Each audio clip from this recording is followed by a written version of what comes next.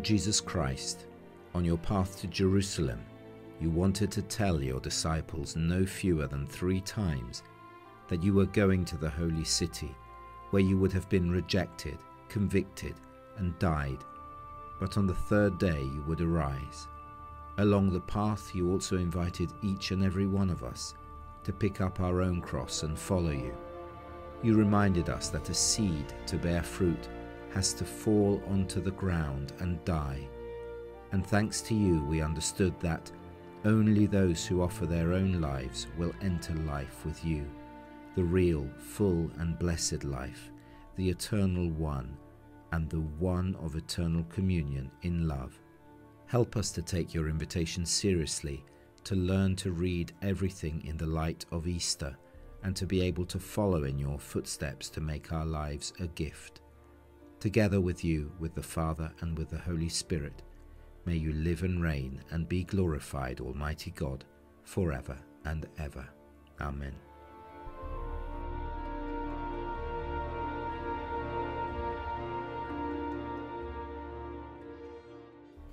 First station Jesus is condemned to death. Adoramus te Christe et benedicimus tibi, quia per sanctam crucem tuam redemisti mundum.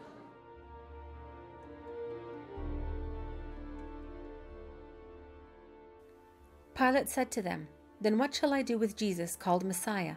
They all said, Let him be crucified. But he said, Why? What evil has he done? They only shouted the louder, Let him be crucified. Then he released Barabbas to them. But after he had Jesus scourged, he handed him over to be crucified. Kyrie eleison, Christe eleison, Kyrie eleison.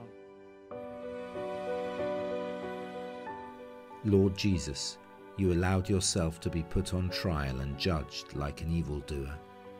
In this way, too, you take the evil and the injustice of the whole world onto yourself, as well as the evil and injustice present in my life and in that of every person. Help us not to judge so that we are not judged either. Help us not to wash our hands of injustice so that we do not also become accomplices of injustice and evil. Help us to deliver into your hands our injustice and the evil that we have done, to be made just by you, by your innocence, and by your holiness.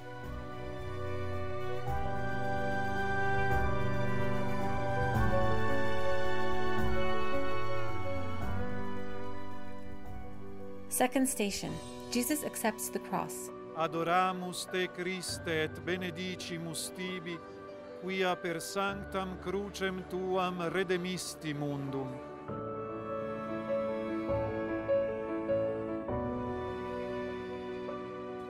Then the soldiers of the governor took Jesus inside the praetorium and gathered the whole cohort around him. They stripped off his clothes and threw a scarlet military cloak about him. Weaving a crown out of thorns, they placed it on his head, and a reed in his right hand. And kneeling before him, they mocked him, saying, Hail, King of the Jews! They spat upon him, and took the reed and kept striking him on the head.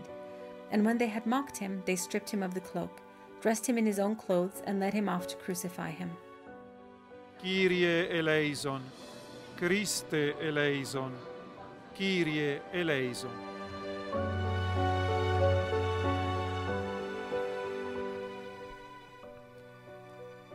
Lord Jesus, inside us there nestles the tendency to persecute those who are weak and those who are wrong, but also those who seem too good or too holy to us. Inside us, like the snake when someone steps on its tail, an immediate reaction is triggered off at the slightest wrong suffered, at the smallest word that hurts us, at what seems to lessen our image. You bear and support those who mock and hit you, those who flagellate you and coronate you with thorns, those who insult you and disguise you as a mock king, those who burden your shoulders with a cross which you certainly do not deserve. You also bear and support each one of us, our little faith, our uncertain hope, our intermittent ability to love. You bear and support and wish to give us not only the example, but also the grace and the ability to act like you.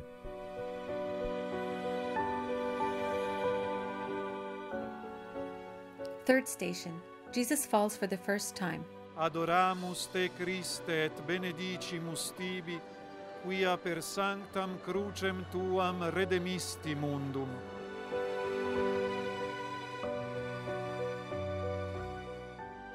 Yet it was our pain that he bore, our sufferings he endured. We thought of him as stricken, struck down by God, and afflicted. But he was pierced for our sins, crushed for our iniquity. He bore the punishment that makes us whole. By his wounds we were healed.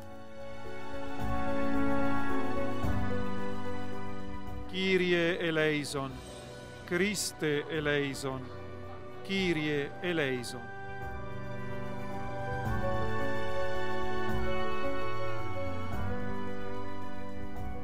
Lord Jesus, we know what it means to fall, and we fall for many reasons. Sometimes we fall in a moment of distraction, sometimes because a heavy burden has dragged us to the ground. Sometimes we fall because we trip against an obstacle, or because someone has tripped us up. Sometimes we put ourselves deliberately and stupidly in situations that will make us fall. You fall under the overall weight of our falls and of the falls of the whole of humanity since Adam. You fall to be able to take on what crushes us. You fall to make us rise up again and give us back hope. Thank you, Lord Jesus.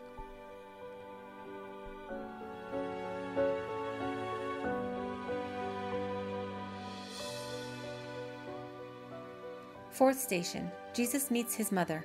Adoramus te Christe et benedicimus tibi, quia per sanctam crucem tuam redemisti mundum. Simeon blessed them and said to Mary his mother, Behold, this child is destined for the fall and rise of many in Israel, and to be a sign that will be contradicted, and you yourself a sword will pierce, so that the thoughts of many hearts may be revealed. His mother kept all these things in her heart. Kyrie eleison, Christe eleison, Kyrie eleison. Lord Jesus, Mary, your mother, had taken you to the temple in Jerusalem when you were only a few days old to present you to your Father, a precocious prophecy of a life offered for love in which she herself took part. Now she meets you on the way of the cross, on the path of the full accomplishment of that prophecy, which will be the gift of love of your whole life until the very last drop of blood until the very last breath. She who gave you life is next to you at the time of giving life. She who gave you life is now next to each one of us, our maternal support in giving life.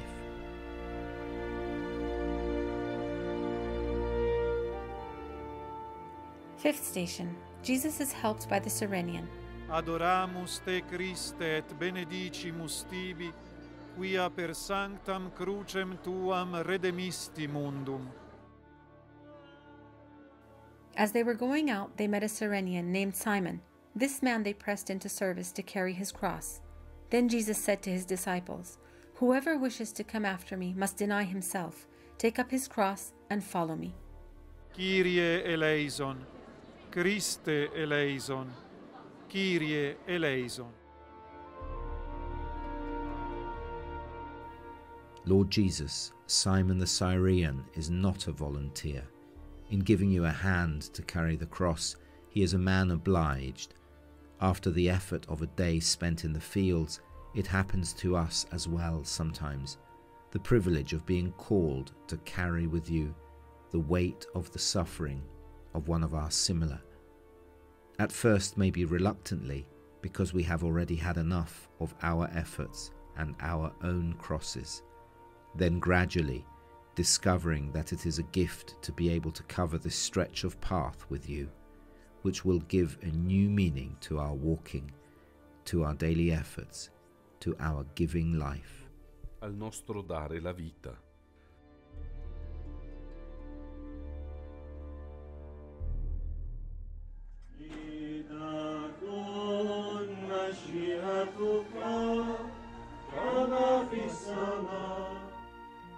Sixth station Veronica wipes the face of Jesus. Adoramus te Christe et benedicimus tibi, quia per sanctam crucem tuam redemisti mundum. He had no majestic bearing to catch our eye, no beauty to draw us to him. He was spurned and avoided by men, a man of suffering, knowing pain like one from whom you turn your face, spurned, and we held him in no esteem. Kyrie eleison, Christe eleison, Kyrie eleison.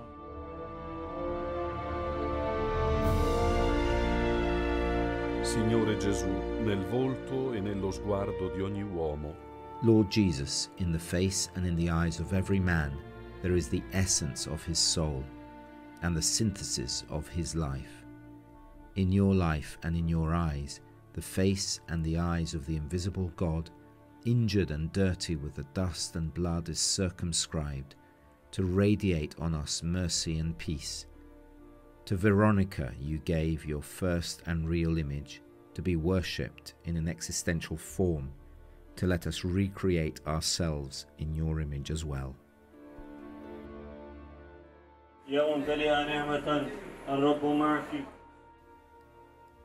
Seventh station Jesus falls for the second time. Adoramus te Christe et benedicimus tibi, quia per sanctam crucem tuam redemisti mundum. For we do not have a high priest who is unable to sympathize with our weaknesses, but one who has similarly been tested in every way, yet without sin. Kyrie eleison, Christe eleison, Kyrie eleison.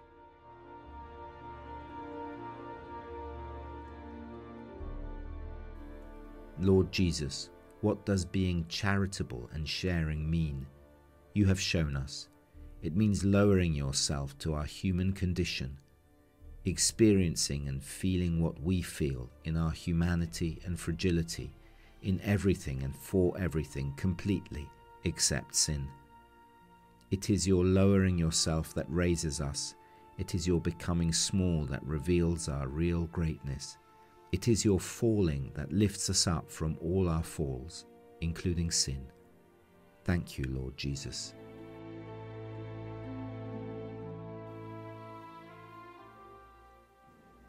Eighth station The women of Jerusalem weep for Jesus. Adoramus te Christe et benedicimus tibi, quia per sanctam crucem tuam redemisti mundum. A large crowd of people followed Jesus, including many women who mourned and lamented him. Jesus turned to them and said, Daughters of Jerusalem, do not weep for me. Weep instead for yourselves and for your children. For indeed, the days are coming when people will say, Blessed are the barren, the wombs that never bore, and the breasts that never nursed. If these things are done when the wood is green, what will happen when it is dry? Kyrie eleison, Christe eleison, Kyrie eleison.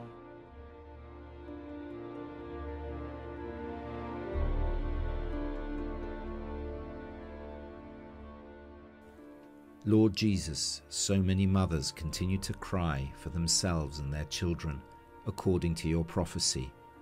In countries devastated by war, by injustice, and by hunger, but also in those which are just as devastated by the mirage of artificial paradises and the culture of waste. Comfort these mothers who are too many, who now have no tears left, so that they can once again be the ones to comfort and to give each one of us a maternal heart to restore humanity to this world of ours.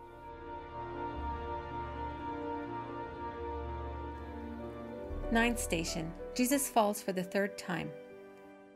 Adoramus te Christe et benedicimus tibi, quia per sanctam crucem tuam redemisti mundum. Come to me, all you who labor and are burdened, and I will give you rest. Take my yoke upon you and learn from me, for I am meek and humble of heart. Kyrie eleison, Christe eleison, Kyrie eleison.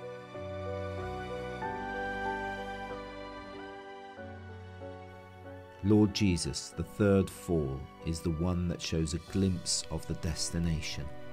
And this way you remind us that it does not matter how many times we fall, but how many times we let you lift us up again to walk in your footsteps until the end, until the second when everything is accomplished, together with you.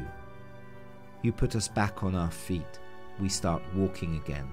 Perhaps we will fall again, but once again you encourage us to get up, to climb the holy mountain where everything is accomplished together with you. Thank you, Lord Jesus.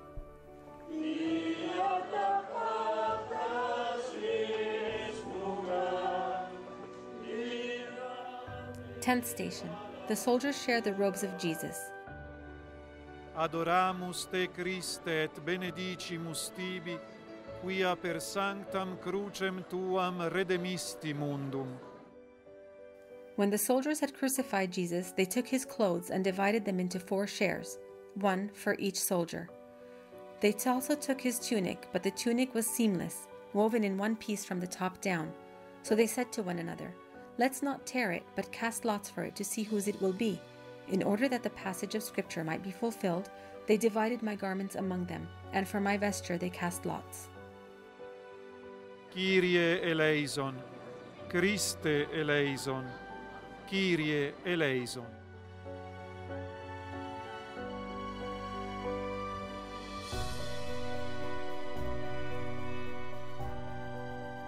Lord Jesus, the first man created in your image and resemblance, was naked in the Garden of Eden and shameless until the day when you had to give him a robe to protect him from fear and his fragility. Now you come undressed. It is a gesture that shows the desire to humiliate yourself and be deprived of your dignity. Yet you undress yourself to clothe each one of us with new robes of your tunic woven in a single piece, of a dignity that we have not deserved, and that nobody can any longer tear from us. Eleventh station. Jesus is nailed onto the cross. Adoramus te Christe et benedicimus tibi, quia per sanctam crucem tuam redemisti mundum.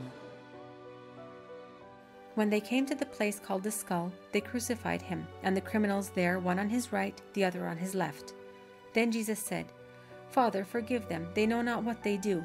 They divided his garments by casting lots.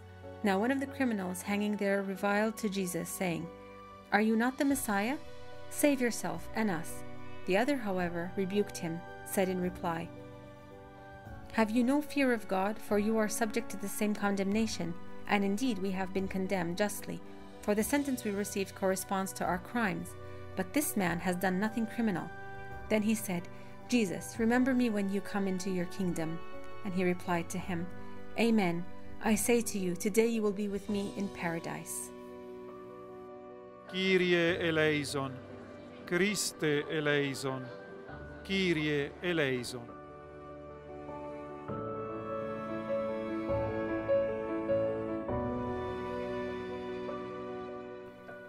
Lord Jesus, remember me when you are in your kingdom, and make the doors of your paradise open today for me as well. For me who still bear the wounds of sin, for me who still struggles to trust and entrust myself, for me who would like to come down from the cross instead of remaining there rightly next to you.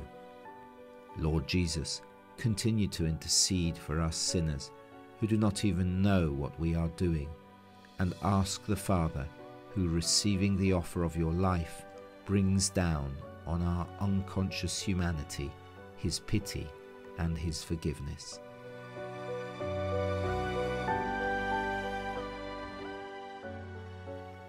Twelfth station. Jesus dies on the cross.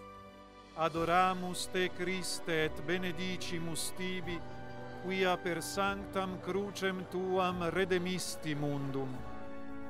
After this, aware that everything was now finished, in order that the scripture might be fulfilled, Jesus said, I thirst. There was a vessel filled with common wine, so they put a sponge soaked in wine on a sprig of hyssop and put it up to his mouth. When Jesus had taken the wine, he said, It is finished.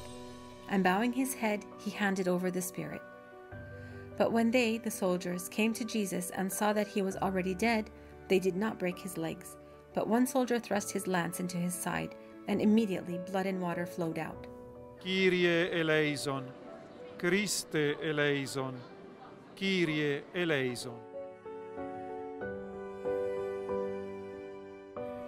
Lord Jesus, when you ask to drink, it is because you want to quench our thirst.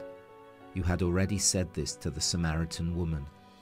Now that everything is fulfilled, now that you are about to complete the meaning of the story, now that your incarnation is reaching its end, now that a new spring is opening for us, from your side water and blood flow out, a river that purifies, quenches, and heals, an open spring that will continue to flow for the whole of eternity and make Golgotha the heart of celestial Jerusalem.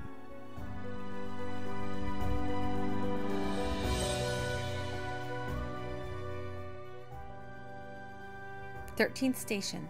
Jesus is taken down from the cross.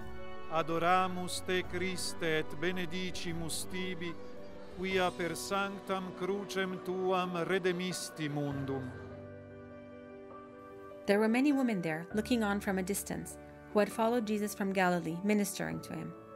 When it was evening, there came a rich man from Arimathea named Joseph, who was himself a disciple of Jesus. He went to Pilate and asked for the body of Jesus. Then Pilate ordered it to be handed over. Kyrie eleison, Christe eleison, Kyrie eleison.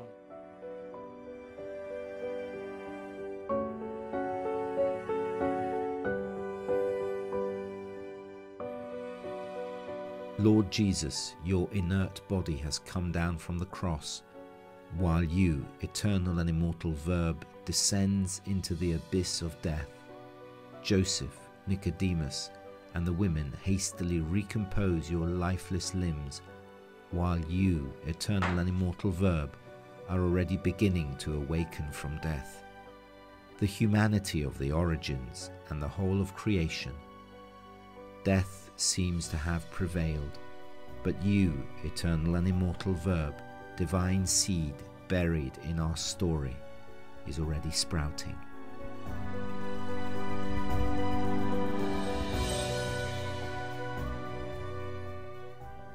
Fourteenth station. Jesus is laid in the tomb. Adoramus te Christe et benedicimus tibi, quia per sanctam crucem tuam redemisti mundum. Taking the body, Joseph wrapped it in clean linen and laid it in his new tomb that he had hewn in the rock. Then he rolled a huge stone across the entrance to the tomb and departed. But Mary Magdalene and the other Mary remained sitting there facing the tomb. Kyrie eleison, Christe eleison, Kyrie eleison.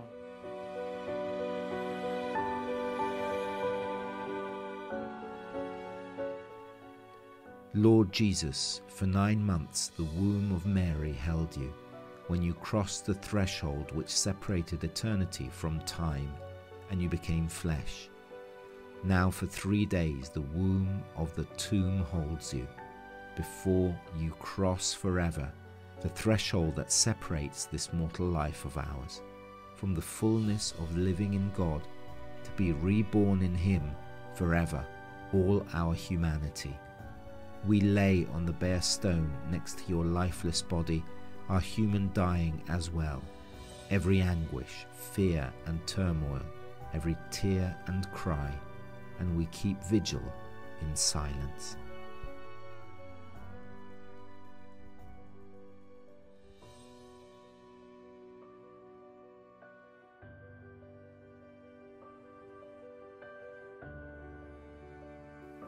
Conclusion Let us place ourselves ideally inside the edicule of the Holy Sepulchre in Jerusalem, in the place which physically received the body of Jesus from the evening of Good Friday until Easter morning, and saw him pass from death to resurrection. Let us dwell for a few seconds in silence, in adoration. Then let us pray.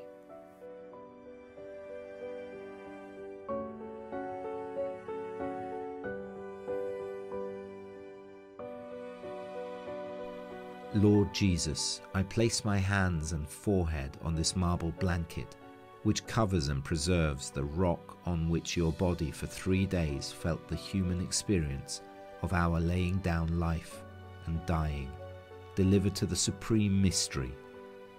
I know that here you crossed the threshold to enter the darkness of nothing, in the anguish of living for just the short day of grass in our destiny of death. I know that here, between the night and dawn, eternal yeast in time, you have dissolved death forever, to finally take us back to the Father, who is the womb and haven of all. I lay my hands and forehead on this marble blanket. I kneel and kiss the stone and feel that here I can believe, that I can trust and entrust myself, that here I can draw on the hope of eternity in love that is stronger than death. Amen. Benedicat vos omnipotens Deus, Pater, et Filius, et Spiritus Sanctus. Amen. Super